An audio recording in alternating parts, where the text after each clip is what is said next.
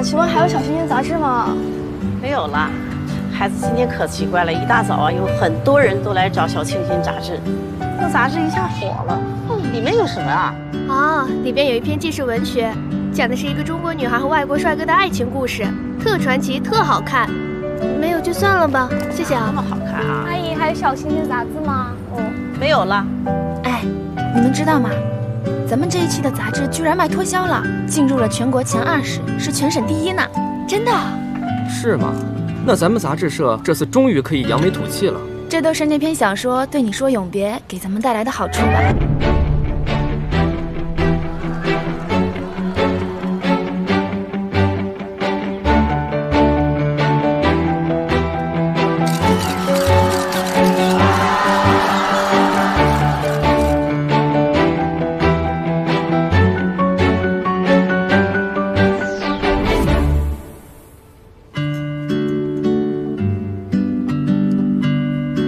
作者也太牛了吧！怎么想出这么绝的情节啊？我问过头了，头说在外面请的。反正啊，咱们的杂志社没人能写出这样的文章。哎，我怎么觉着这小说里的情节写的有点像陆安娜？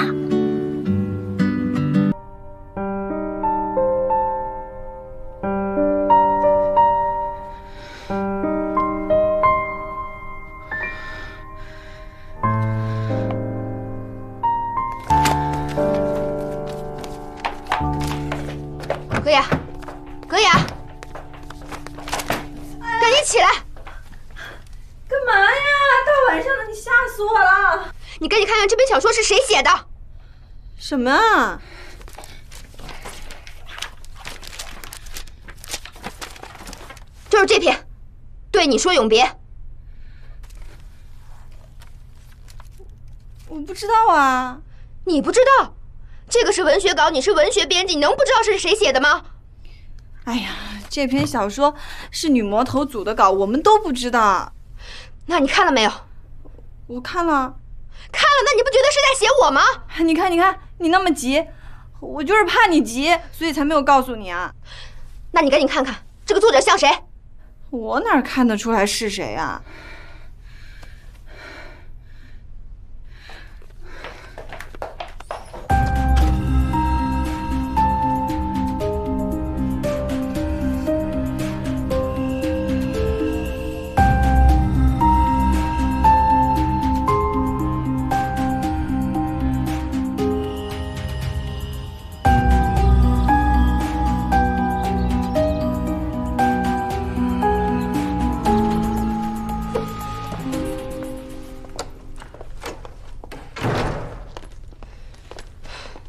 以为改个人名换个桥段我就看不出来了，太卑鄙了！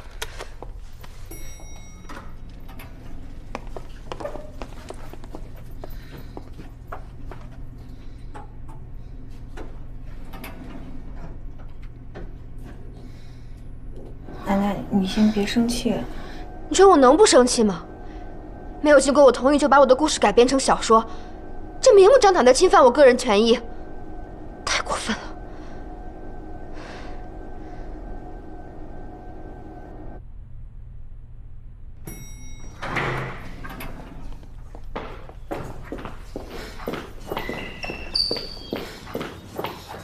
你是真的不知道是谁写的吗？我真的不知道啊，可能是女魔头从外边找的人吧。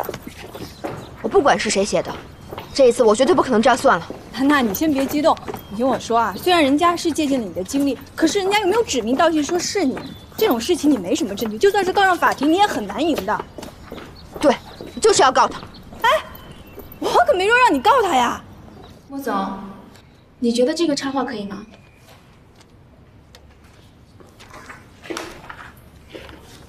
还凑合吧，可我觉得这个画面跟这期小说的内容搭起来特别配。行了，那就是他吧。你去跟印刷厂说，务必要。莫安娜，有什么事儿吗？我想找你谈一谈。去我办公室吧。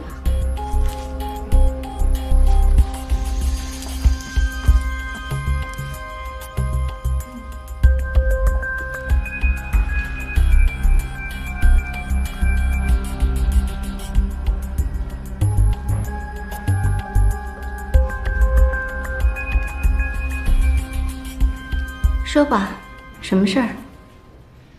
你没有权利不经过我同意，就把我的事情改编成小说。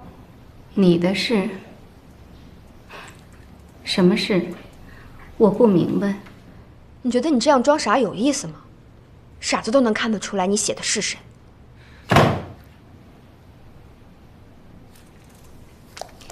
你是说，你在这个里面看到了自己，是吗？那太好了，说明我们成功了。我一直认为，一个好的文学作品就是能够让很多读者从中找到自己的影子，从而反思，从而感慨，获得能量。谢谢你，做出这么高的评价。茉莉，你别跟我玩这样的文字游戏。我现在正式通知你，你立即给我停止刊载，否则我就要……否则怎么样？起诉我吗？你别以为我不敢。我当然知道你敢。可是我想问你，你凭什么起诉我？难道你在这个上面看到了你自己的名字了吗？你发生了什么事？别人怎么会知道？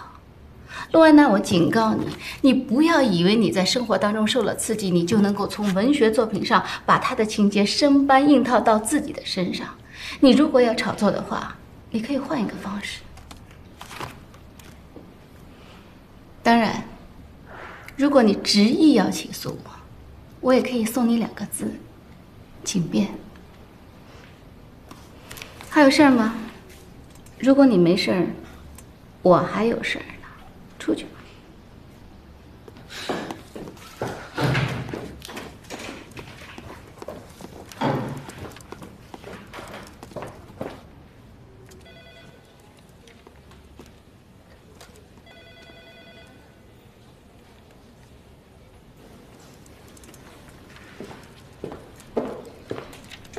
怎么了？